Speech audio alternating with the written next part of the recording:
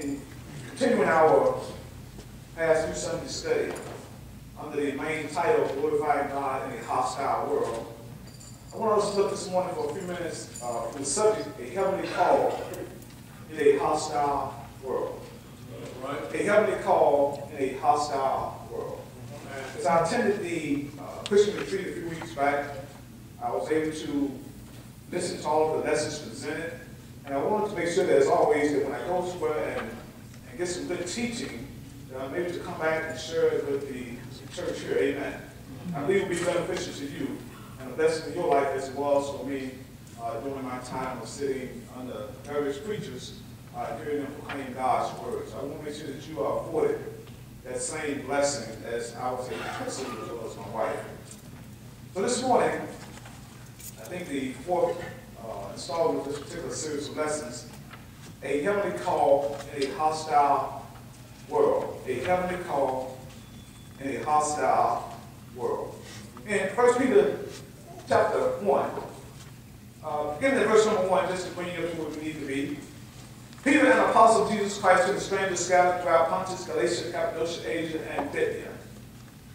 Understanding here that the church was in turmoil uh, during this time, uh, had been scattered throughout all uh, different regions, uh, different areas, and they were going through some uh, persecutions, as has been the case in many times throughout the history of the church. The church was suffering persecution at the hands of those uh, who were in authoritative positions. At this time, the church was scattered out, and Peter's intent was to help the church to remain focused and to stay encouraged uh, while going through their storms. Uh, you're going to go through storms of life, amen. That's going to happen. Right. So it's important that as you're going through storms of life that you remain encouraged, right. that you keep your focus uh, towards the ending of that storm, recognizing that God, the same God who has allowed you to enter into the storm, is the same God who will see you through the storm. So here's Peter offering, encouragement to the, to the Christians. And if you drop down to verse number uh, 13, I just want you to understand that the church is scattered out, is, is, is scattered out at this time. But you drop down to verse 13 for this morning uh, lesson.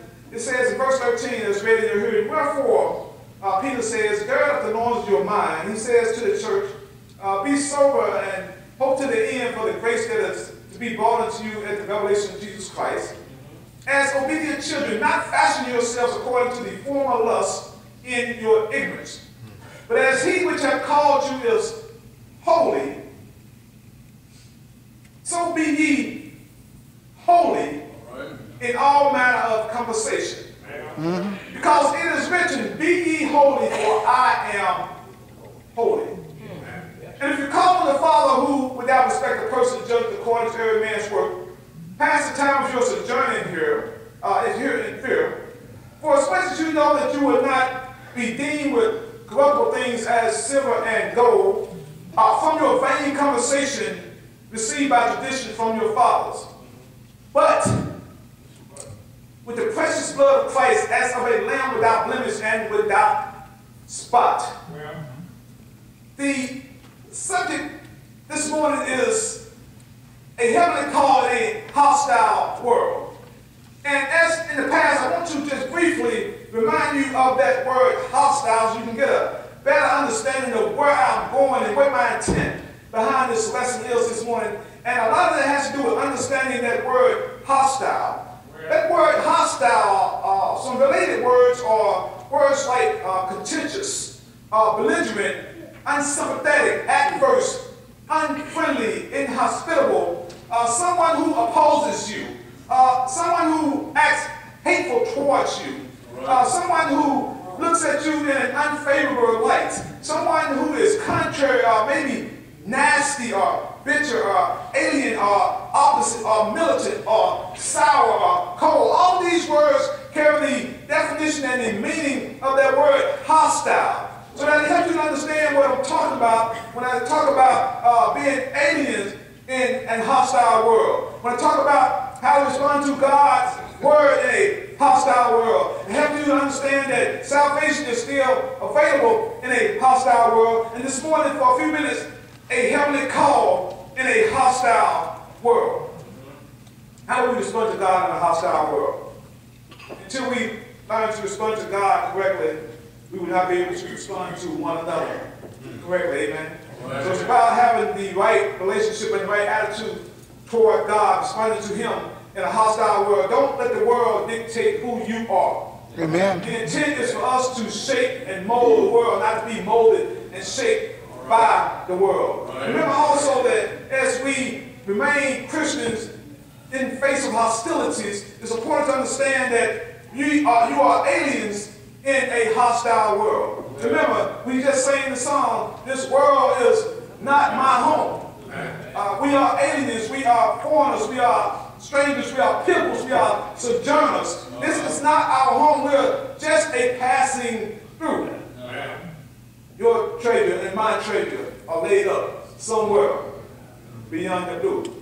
So we are aliens in this world, and our citizenship is what I want you to remember from that lesson. Our citizenship is in heaven. That's right. And as you remember that, and you look around you and you see the hostilities in the world, it's important to remember that salvation is still available in the hostile world. Amen.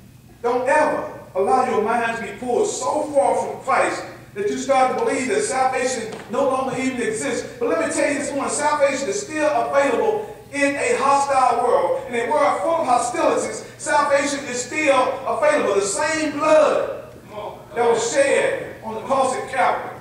The same power of that blood. Paul says, I'm not ashamed of the gospel of Christ. The same power associated with that blood that was in effect on the cross at Calvary is still in full effect today. It still has the ability to affect a man's life, a woman's life, a boy's life, a girl's life, to change their life for the better. Amen. Salvation is still available in a hostile world. No matter what the world wants to, you to believe in, regardless of what all Satan throws at you, salvation is still available. And this morning, just a few minutes, a heavenly call in a hostile world. A heavenly call in a hostile world. In case you haven't noticed, we don't live in a perfect world. Hmm. And since we don't live in a perfect world, I want you to use your imagination this morning just a little bit. Imagine that we were living in a perfect world. A world where there's no sickness. Right? No such thing as cancer. A world where there's no, there's no, there's no dying, no loss of loved ones. A world where everybody gets along. Well, Take the imagination on it. Imagine living in such a world. In case you haven't noticed, that's not the world we live in. Right? We don't live in a perfect world. And since we don't live in a perfect world, God has called on us to be different. Amen. God has called on his children to be different. We speak about being God's peculiar people, his special people, his set apart people, his chosen people. He's called on us to be different. In Romans chapter 12, verse number 1. Romans chapter 12, verse number 1, as I delve into the lesson this morning for a few minutes. In Romans chapter 12, verse number 1, Paul says, I beseech you, therefore, brethren, by the mercies of God, that you present your bodies a living sacrifice, holy, there's that word again, acceptable unto God, which is your reasonable service. And Paul goes on saying, Be not conformed to this world. This world is not my home. Be not conformed to this world, but be ye transformed by renewing of your mind, that you may prove what is that good and acceptable and perfect will of God. Because we don't live in a perfect world, God has called on us sent a call out, the gospel call. All who obey that gospel call can become children of God. And then as children of God, we have a heavenly calling. That's right. This heavenly calling is. But it involves being not conformed to this world. It involves being transformed by the renewing of your mind. It's going to take some mind work. Why we have so many difficulties sometimes? Because we don't want to take time to use our minds. Amen. Child of God is struggling and struggling and struggling and struggling. But brother, when's the last time you studied God's word? When's the last time you went to God in prayer? When's the last time you attended worship service? When's the last time you attended a Bible study? When's the last time you hung around somebody that's just a fellow Christian? All right. See, our minds has a lot to do with this heavenly calling. Amen. In order to not be uh, conformed to this world, it requires a renewing of your mind. He's called us out of darkness into the kingdom of his good son. And then he has given us this call to be different. The call he has for us is to be different.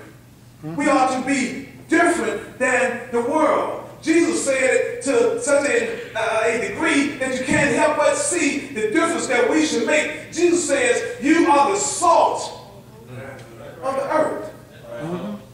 Jesus pointed out, Jesus says, You are the light of the world. A city that sits on a hill that cannot be hid. Jesus says, let your light. You see, he calls us to be, to be different. Amen. That heavenly call is a call, a beckon and a calling to you and I as Christians, but those who are children of God, it's a call for us to be different. With the salt of the earth, with the light of the world, let your light so shine among men that they may see your good works and glorify God. Something different about you. Amen. And just because you live in a hostile world, I think God don't know what's going on in the world. Mm-hmm. He says, not one sparrow falls from the sky without God knowing. Even the very hairs on your head are numbered. Do you think God don't know what's going on in the world? But you know what? In spite of what's going on in the world, he says, I want my people to obey this heavenly call. You see, there's the gospel call that gets you into Christ. Amen. When you obey the gospel call, you're baptized into Christ. Upon being obedient to the gospel, you're baptized into Christ. But then there's a heavenly call. Mm-hmm. And there's a heavenly call, even in the midst of a hostile world. This call, God wants and expects us to obey. This word holy, it means to be set apart, or consecrated, or dedicated for the service of. God wants us to be set apart, to be consecrated, to be dedicated for his work. Let's talk about this heavenly call. A heavenly call in a hostile world. Go back to 1 Peter chapter 1, verse 13. He says here, Peter says, Wherefore, gird up the loins of your mind. See, it's talking, he, he's talking about the mind here, right? He's talking about the mind. Then he says, be sober.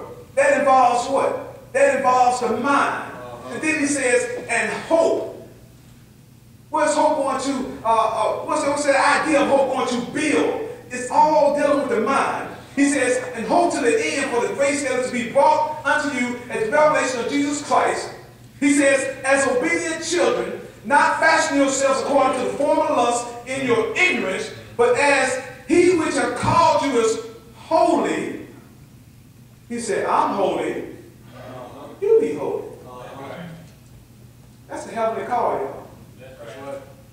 That's the heavenly call that God wants us to obey after obeying the gospel of Christ. He wants us to obey the heavenly call where he says, you be holy as I am holy. He says, but as he which hath called you is holy, so be ye holy in all manner of what? In your whole life. Hmm.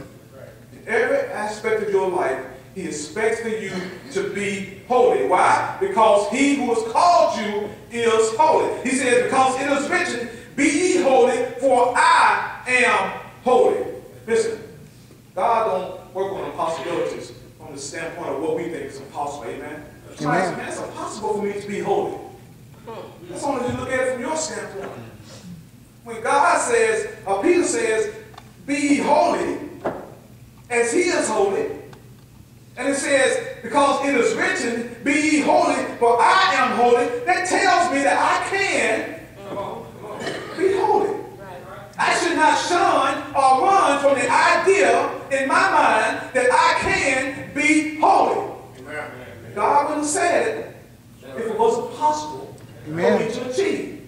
And the possibility only comes when I stay with what thus saith the Lord. He says, because it is written, be ye holy, for I am holy. The heavenly call is he wants you to be holy because he is holy.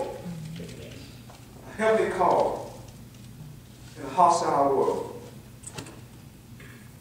How is it? The Christian asks the question.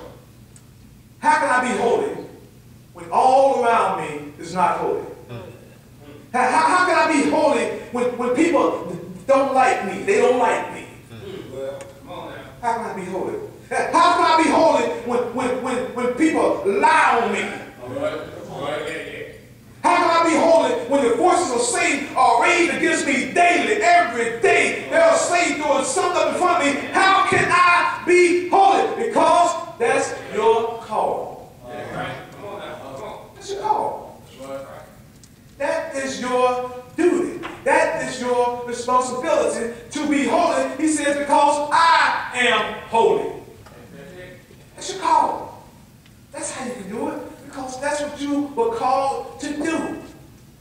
If God says be holy, that's assured that you can be holy. If he says live a holy life, you can live a holy life. We make excuse after excuse after excuse of why we can't do the right thing instead of talking about all the reasons why we should be doing the right thing. Heavenly call, he wants you to be holy because he is holy. That's your call. In verse 13, Peter says, 1 Peter 1.13, Peter says, Wherefore, gird up the loins of your mind. You have to understand that because somebody tell you to gird up the, you know, the loins of your mind, you look at them like, okay. You have to understand what that means.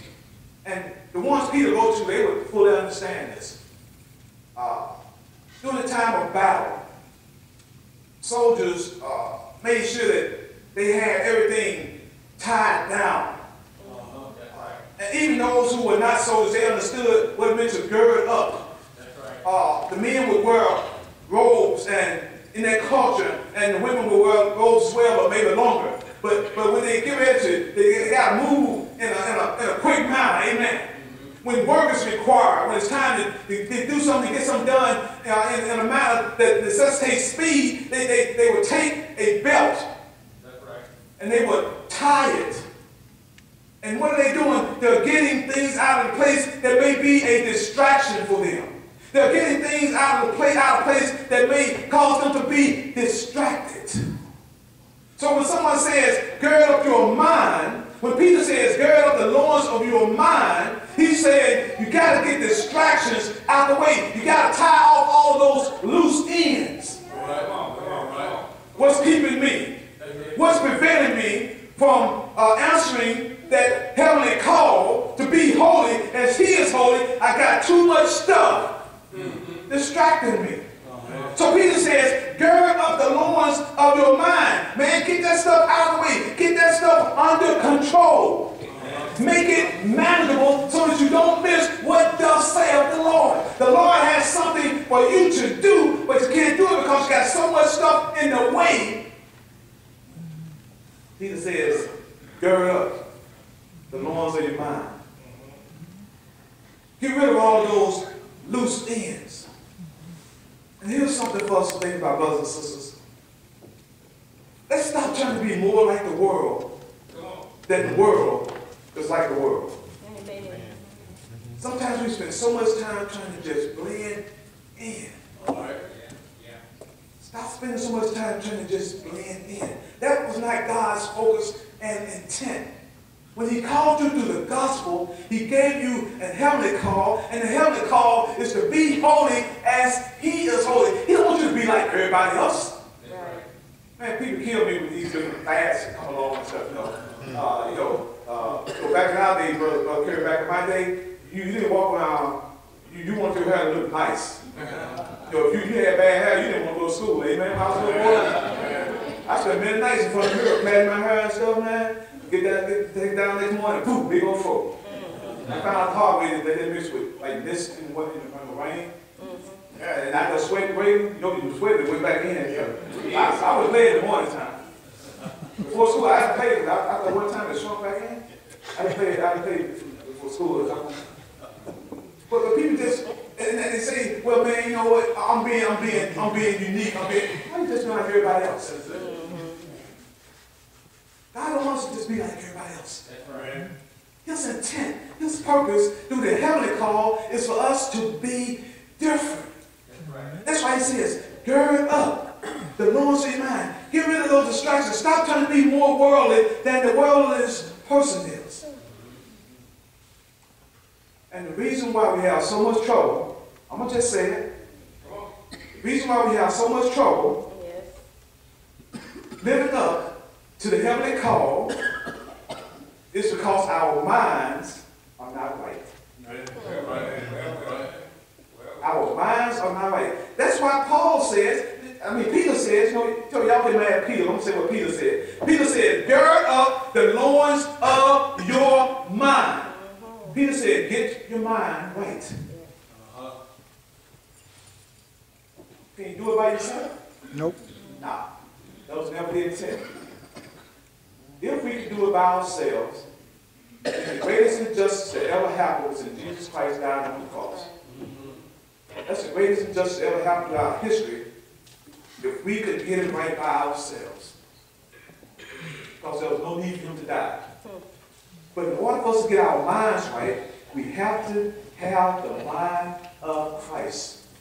It took his death on the cross in order that we may have this invitation from God to obey the gospel of Christ. And then after obeying the gospel of Christ, he talks about this heavenly call.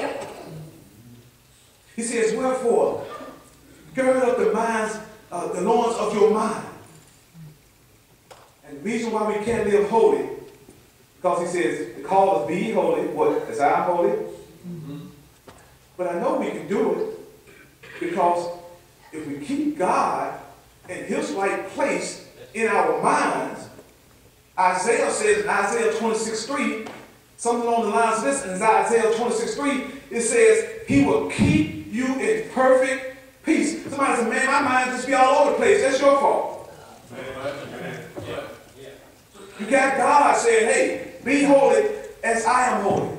He's given us everything that pertains to life and godliness, and he assures us through Isaiah the prophet, he's saying he will keep you in perfect peace. Some people minds are just all over the place. They're never at peace.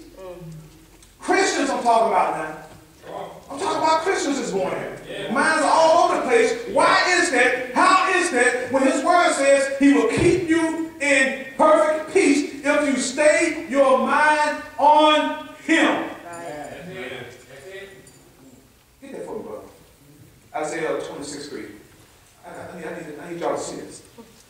Because I'm, I'm, I'm just getting part of it. I need you to see it. Isaiah 26, 3. Because if we keep, he says, Thou will keep